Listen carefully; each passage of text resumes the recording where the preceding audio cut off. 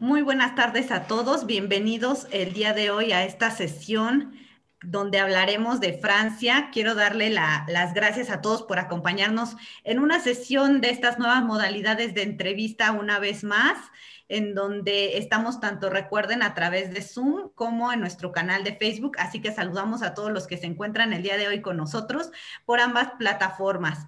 Y damos la cordial bienvenida a Vero Rico, que se encuentra el día de hoy con nosotros para esta entrevista, y por supuesto una invitadaza muy especial y experta en todo lo que vamos a hablar el día de hoy, Patti Torres, quien es responsable de promoción comercial de la Oficina de Turismo de Francia en México, Atut France. Bienvenidas.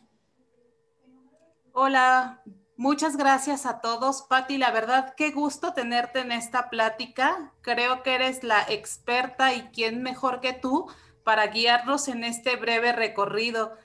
Y pues para no entrar en más detalles, porque sabemos que el tiempo vale oro, Patti, dinos por favor cuáles son los lugares más importantes que nuestros amigos de las redes sociales deben descubrir en Francia.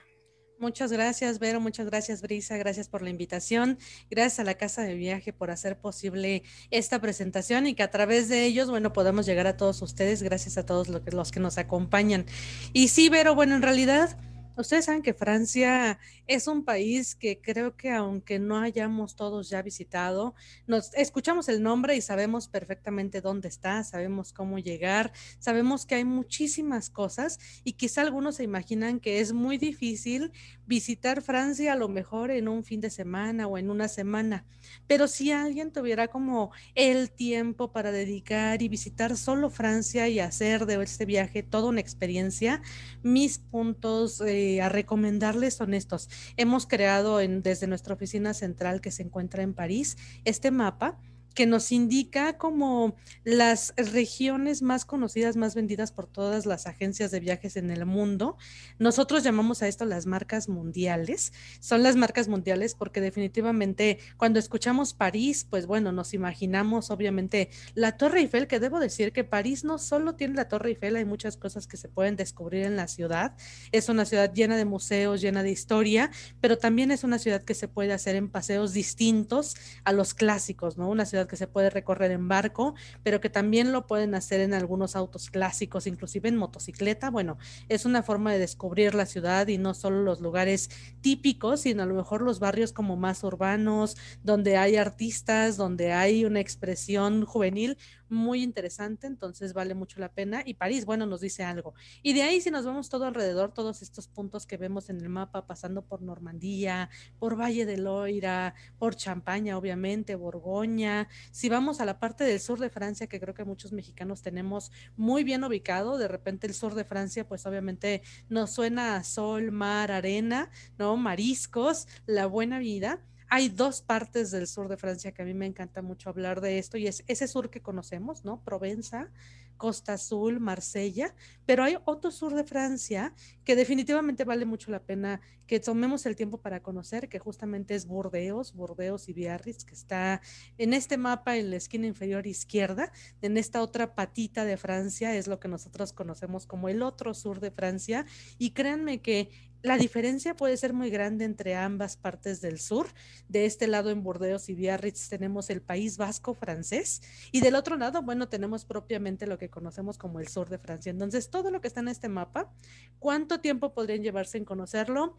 Yo calcularía, bueno, es que depende, porque si va uno de pueblito en pueblito, a veces quisiera uno quedarse como un mes o dos o seis meses en cada lugar pero pienso que en medio año, muy tranquilamente, podríamos llegar a conocer estas partes que son las más importantes. En un tour muy rápido, quizá en un mes, ¿no? Un poco corriendo, podríamos ver las cosas más importantes.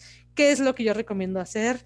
ahora que estamos en casa y tenemos el tiempo como justamente de ver este tipo de información, de acercarnos más a los destinos, de poder preparar un viaje, creo que es el momento indicado para tomar lápiz y papel y decir, quisiera yo conocer dónde se produce el vino, quisiera conocer cómo se produce un queso, quisiera conocer una fábrica de perfume y a partir de eso armar una ruta muy bonita para poder, cuando ya todo esté listo para que viajemos, realizar un viaje que tenga la experiencia que no vamos a olvidar en nuestras vidas. Claro que sí, Pati, pues realmente conocer, eh, bueno, Francia, más allá de París, más allá de la Torre Eiffel, pues yo creo que es algo que todos queremos dejar ahorita ese semillita y como tú dices, prepararnos, para eso son estas, estas entrevistas, para que todos nuestros contactos, nuestros amigos de la casa del viaje, preparen y vayan enlistando para que en cuanto podamos viajar estemos listos. Así es que en esta ocasión, pues el tiempo es corto, pero nos vamos a enfocar en dos zonas muy importantes que están al norte. Así es que cuéntanos qué podemos encontrar en Loira y en Champagne. Muchas gracias. Pues sí, realmente yo sé que París pues es hermoso y París es la ciudad de la luz y París es igual a muchas cosas, ¿no? París, como lo dice la canción, siempre será París pero creo que vale mucho la pena cuando hacemos un viaje desde México hasta Francia, poder salir, poder disfrutar de la campiña francesa, poder disfrutar de lo que hay alrededor, porque a veces nos imaginamos, bueno, en México, México es un país muy grande, es muy rico en muchas cosas, pero para trasladarnos de ciudad a ciudad, solo de la Ciudad de México a Puebla en un día, digamos, normal de tráfico, bueno, nos lleva una cantidad de horas muy interesante. Y cuando viajamos a Francia, como que llevamos eso en la mente. Y no, viajar a Francia es disfrutar del tren, disfrutar de la transportación en terrestre, disfrutar de los paisajes. Y justo por eso el día de hoy quiero hablarles de esta área tan sonada, por algunos conocida, que es la zona de los castillos. Esta zona tan histórica y al mismo tiempo tan interesante para muchos jóvenes, esta área de los castillos que fue elegida por los reyes. Un poquito de historia para que sepan por qué esta área fue elegida por los reyes, pues es muy simple.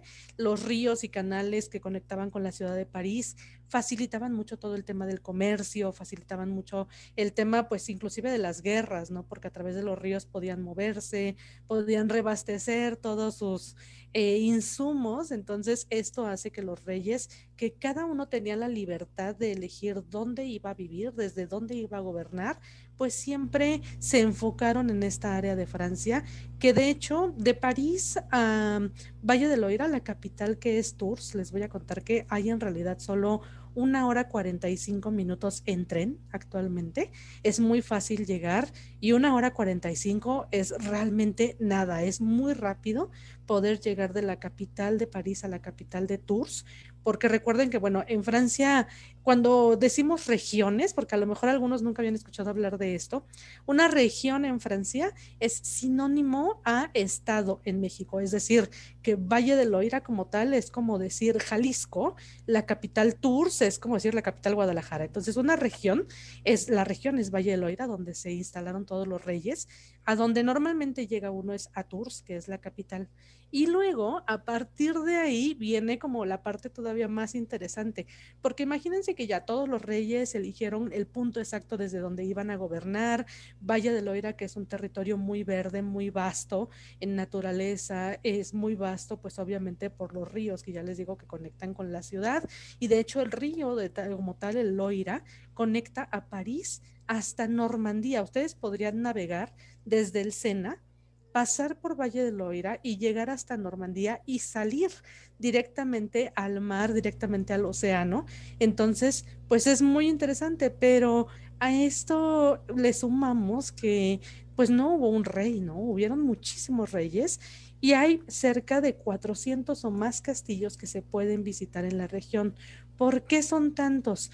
Un castillo es llamado así porque era no solo del rey, en realidad castillo le llamamos a toda aquella propiedad de alguien importante, ¿no? Fuera el rey, fueran eh, sus familiares, fueran sus primos, fuera algún querido, querida, entonces esto hace que se conviertan en castillos, por eso hay tantos castillos, por eso es tan importante saber elegir qué castillos quiere uno visitar cuando va a Valle de Loira.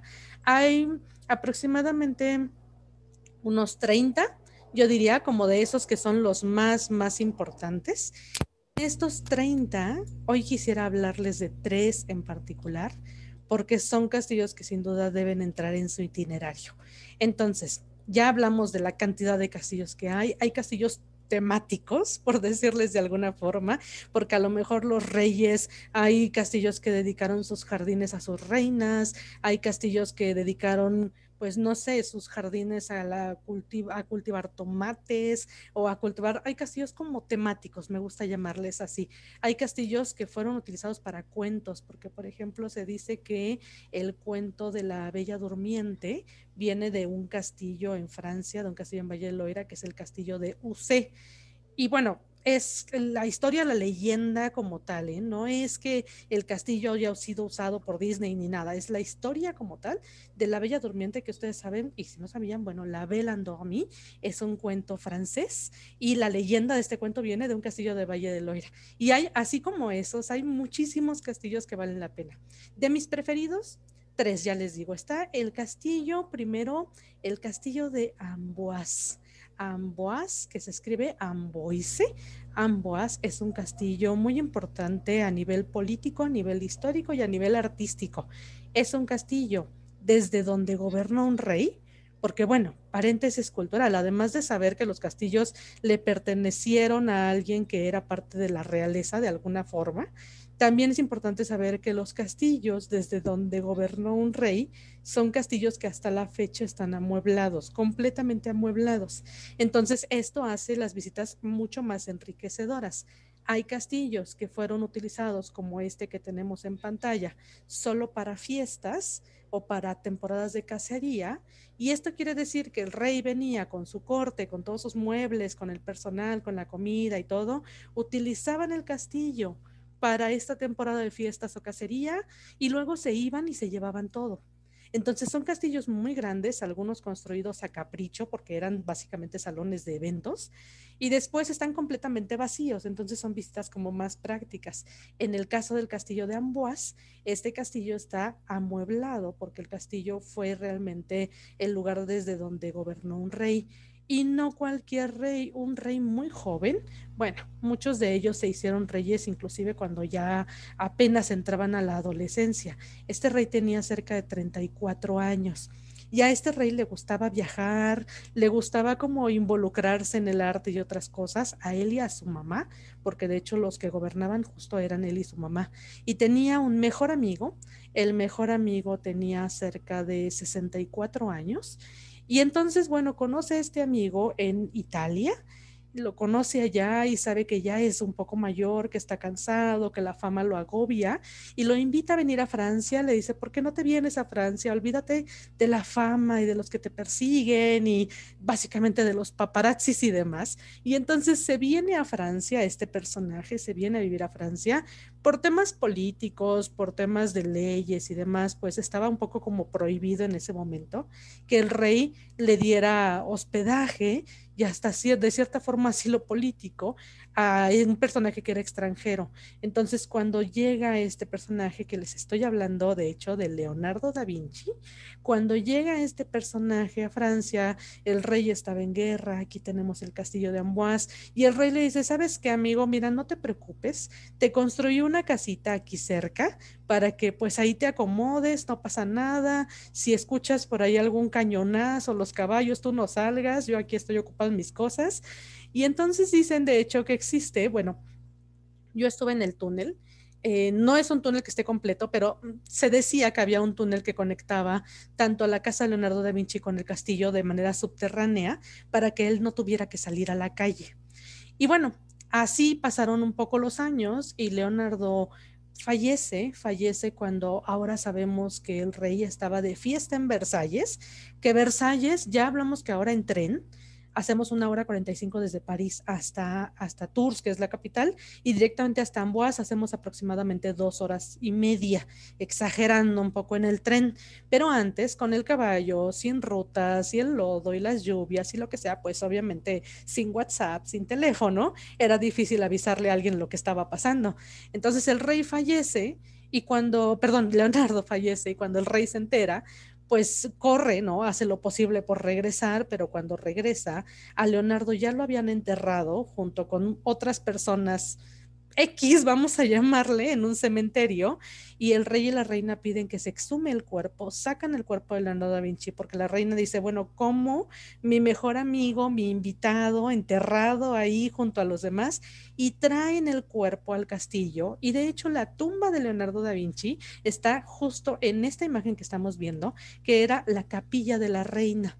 Aquí es donde podemos encontrar la tumba de Leonardo da Vinci. Es un castillo gigantesco, porque si pudieron ver en la foto anterior, pues abarca gran parte de la orilla del río. Entonces, al estar junto al río, hay unos túneles que conectaban para que subieran la mercancía, los muebles y todo esto a caballo. Y la capilla está justo en una de las orillas del territorio del castillo. Entonces es una visita que pueden hacer en Segway. No sé si, si todos ubican lo que es un Segway, ¿no? Pero este aparatito como con llantas que se maneja como solo con, con el cuerpo, ¿no? Con la inercia que tiene uno en la espalda y demás. Entonces puede llegar a ser muy entretenido. Es una visita un poco larga con toda la historia y todo lo que podemos encontrar de Leonardo. Y después de visitar el castillo de Amboise, puede uno visitar lo que fuera la casa de Leonardo da Vinci, que ahora es llamada el Clos Esto que tenemos en pantalla, que es el castillo de Clos es fue la casa, la última morada de Leonardo da Vinci. ¿A cuánto tiempo está del castillo? Imagínense que en túnel, imaginen una línea un poco eh, transparente, no subterránea, que va justo de donde tenemos este castillo hacia la esquina superior izquierda es todo lo que ocupaba por debajo de la tierra el túnel para ir hacia el castillo. Caminando actualmente del castillo de Amboise al castillo de Clolucé, hacemos unos 10 minutos. Y eso porque, bueno, quiere uno ir viendo las casas y las tienditas y los recuerdos y los restaurantes. Y si se sientan a tomarse un café, seguro que van a pasar más de media hora o 40 minutos en llegar, pero caminando, digamos, en línea recta, hacen aproximadamente 10 minutos en llegar del castillo de Amboise al castillo de Clolucé. Y esta casita, este castillo de Clolucé, eh, pues bueno, tiene también sus historias muy propias, porque de hecho, cuando llega Leonardo a Francia, trae consigo pinturas, planos, muchas cosas. Él venía con el plan de descansar y finalmente, pues termina por sí darles clase a alguno de sus, de sus más allegados conocidos o del rey, pero tenía como requisito que pudieran estos que aspiraban a ser alumnos de estas personas hacer una réplica exacta de la pintura de la Mona Lisa. Entonces, ¿qué sucede? Que en Le Clolosé hay una pintura mucho más grande que la que hay en París de la Mona Lisa. En el, en el Museo del Louvre, en París, hay una Mona Lisa y se dice que existen al menos otras cinco, de donde sería difícil saber exactamente cuál es la original. La de París es lo más cercano que sabemos que, bueno, pudiera ser la original porque fue regalada por la pareja de Leonardo. Cuando Leonardo muere, el cuadro que se lo regala a su pareja, su pareja se va del país y luego pues regresa y dice, pues no, esto le pertenece a Francia y lo entrega como un regalo. Pero imagínense saber que tuvo seis o siete alumnos donde el requisito era hacer la réplica exacta de la Mona Lisa y no podemos comprobar en realidad cuál es la original.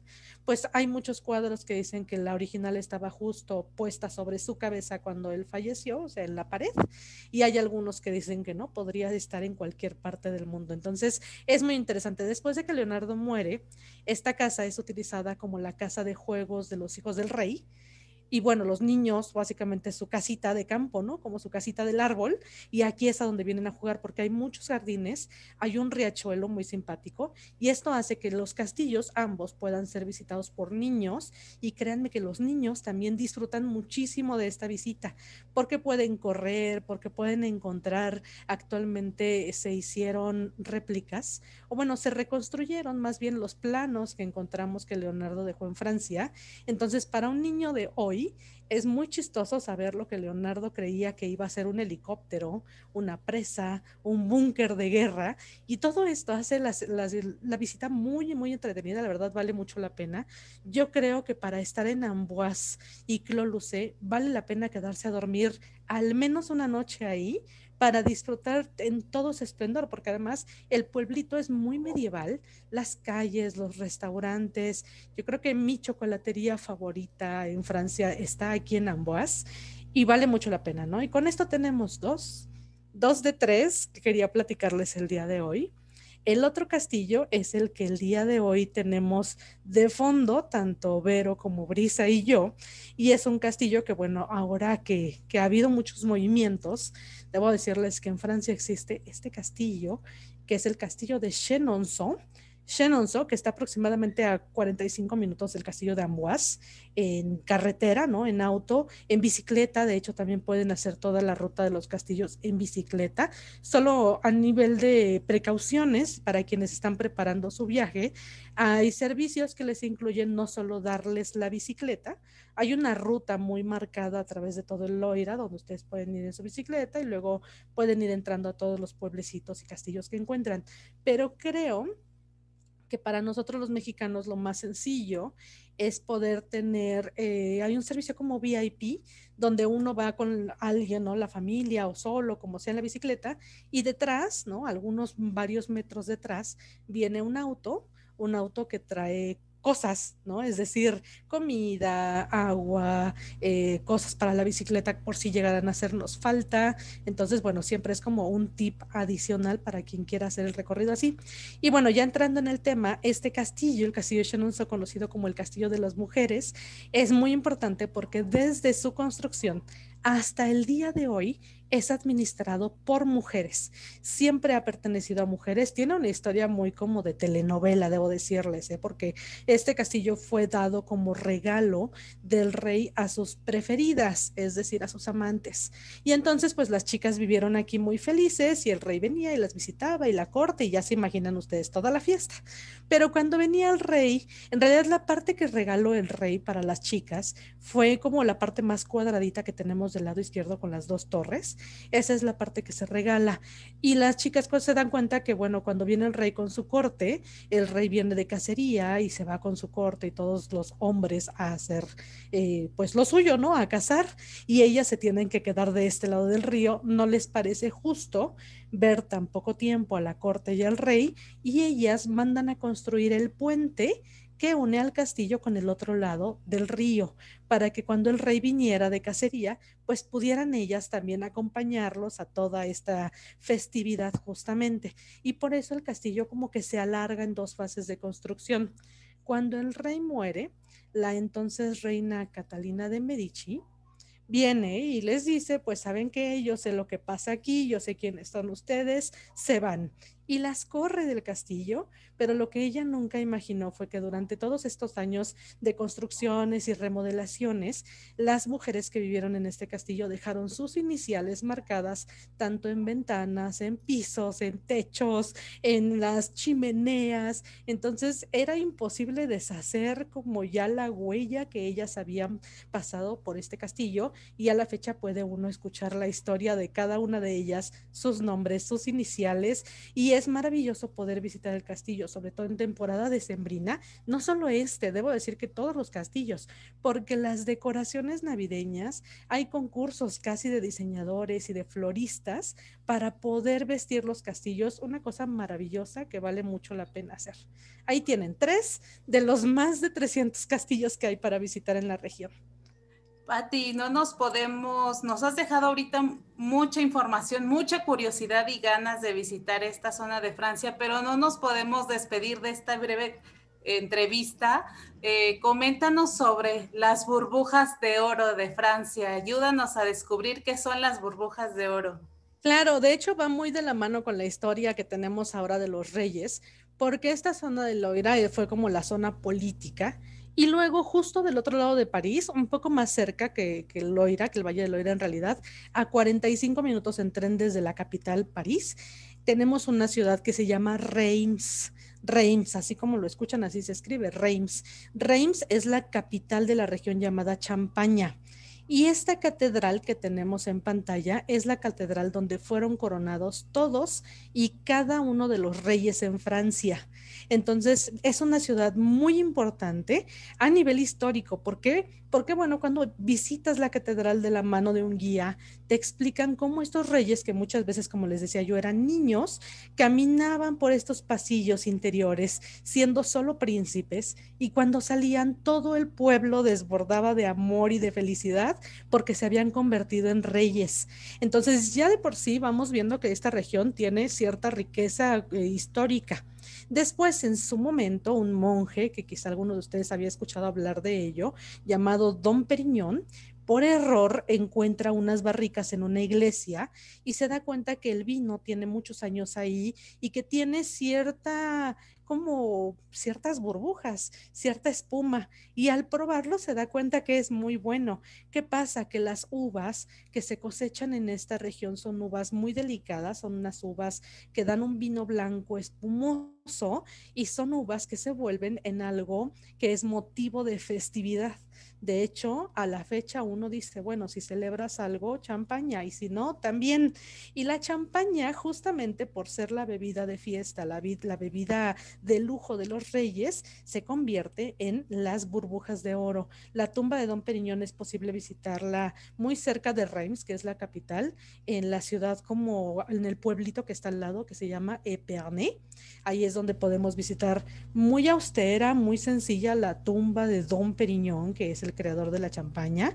Hay una marca de champaña que lleva su nombre, que de hecho es una de las champañas de gran calidad en Francia, Don Periñón. Y por eso dicen los franceses, sobre todo los que viven en esta región, que son las burbujas de oro, porque además la región tiene en gran parte su economía dedicada a la producción de la champaña. En cada paso que uno da en Reims, en la ciudad, en cada paso que uno da, hay debajo cavas de champaña. En la Segunda Guerra Mundial, por ejemplo, para que se imaginen qué tan grandes son estas túneles, estas cavas de champaña, las personas vivieron en las cavas, vivieron bajo tierra, ahí hicieron su ciudad, ahí hicieron sus escuelas, sus hospitales, así es que la parte subterránea y la parte que está encima ahora, pues obviamente es una riqueza, es una riqueza poder visitar este lugar, poder ir a una tienda y encontrarse con una experiencia inclusive para comprar una botella, porque seguro uno se dice, bueno, cuando vas a champaña a comprar champaña, ¿qué champaña compras? ¿No? Es como muy extraño. Y cuando ustedes entran a las tiendas, hay unos paneles como de colores, ¿no? Con hojas, con frutas, con, con algunos sabores. Y si ustedes no saben qué les gusta, normalmente todos los vendedores están como capacitados para preguntarles, bueno, ¿cuál es tu estilo de vida? ¿A dónde vas a llevar la botella? Normalmente, ¿qué te gusta tomar? Y te hacen como una pequeña mini entrevista y en base a esto te dan una botella de champaña donde básicamente eres tú en champaña. Entonces, es toda una experiencia. Estas burbujas de oro te invitan a viajar y conocer más acerca de los reyes y su historia. Pati, muchísimas gracias. La verdad que nos ayudaste a resumir y a dejarnos esa curiosidad y esas ganas de planear nuestro viaje a Francia, a esta zona. Y qué más que pues yo creo que te vamos a comprometer para que en otra sesión nos ayudes a hablar del, sur o de otras regiones, porque creo que Francia tiene mucho que dar, mucho para los mexicanos y para todo el mundo. Entonces, agradecemos mucho que nos hayas acompañado en esta tarde. Fue muy enriquecedora. Entonces, por favor, comprometámonos para una nueva sesión. Nos estaremos poniendo en contacto porque hay mucho que descubrir en Francia. Muchas Yo encantada, gracias por la invitación y bueno, cualquier cosa, duda, estoy a sus órdenes. Muchas gracias. Muchísimas gracias, Patti. Muchísimas gracias, Vero. Pues bueno, la verdad que se nos fue como agua esta media hora. Creo que nos falta hasta tiempo, Patti. Nos tenías realmente boquiabiertos con todos los temas que nos, que nos contaste el día de hoy. Ni se nos hizo eh, nada pesado la transición de entre los castillos, la vida de Leonardo da Vinci, la, la, la champagne. Realmente fue espectacular. Y pues bueno, eh, los invito que dejen sus comentarios, sus dudas y preguntas para Patti. Ahorita que tenemos a la experta con nosotros, por favor, si quieren saber algo del destino, es momento de preguntárselo. Los chats están abiertos. Y bueno, eh, tenemos aquí una unos agradecimientos eh, eh, a través de Facebook que nos están viendo también. Tenemos agradecimientos de Clara Plancarte, quien dice muchísimas gracias, que están viendo el video, Rosario Padilla, Cutberto Díaz, te dejan muchos agradecimientos y mucha muchos saludos, eh, muy interesante, muchísimas gracias. Aquí a través de Zoom, Angie Cruz, buenos, buenas tardes, muchas felicidades de Víctor Chávez, muchísimas gracias. Eh, Gloria dice, gracias Patti por tu, tu gran conocimiento y experiencia, realmente excelente. Muchas gracias, gracias por sus comentarios. Eh, bueno, pues muchísimas gracias eh, eh, y agradecimientos de todos en ambos, este, en, en ambos streamings. Recuerden que una vez al mes estamos haciendo todos este, este tipo de, cápsulas informativas a nuestros especialistas, a los expertos que realmente conocen todo este, todos estos destinos. Y pues nada, muchísimas gracias, Patti, por la información. En verdad que eh, estamos desbordados ahorita de agradecimientos en los chats. Eh, eh, la verdad que muy, muy impactante la información que nos diste y de mucha eh, muchas ganas de volver a ir a Francia, Pati, bien nos lo contabas, ¿no? Ya, ya tenemos ganas de ir, empezar a hacer nuestro mapita. Es importante, sí, marcar la ruta y decir, el próximo año, este año no me voy a quedar sin visitar esto y esto y esto. Y bueno, si necesitan saber de otros castillos, con mucho gusto les doy también más información Creo que cuando uno visita estas dos regiones, bueno, Champaña es como un poco más sencillo, es más pequeña, lo que hay que hacer es visitar muchos restaurantes y encontrarse con estas grandes cartas y variedad de champaña. Y cuando vas al Valle de Loira, probar el vino. Creo que si a alguien no le gusta el vino, o quiere tener la experiencia de un primer vino, hay que viajar a Valle de Loira. Son como los vinos más sencillos, son vinos que le gustan básicamente a cualquier paladar. La gastronomía es deliciosa, entonces bueno, estoy segura que les va a encantar para quienes no conocen Francia y para quienes ya han ido a París pero no han visitado castillos, hacer estas dos rutas es algo que definitivamente les va a gustar. Sí, pues no cabe duda de que estamos... Eh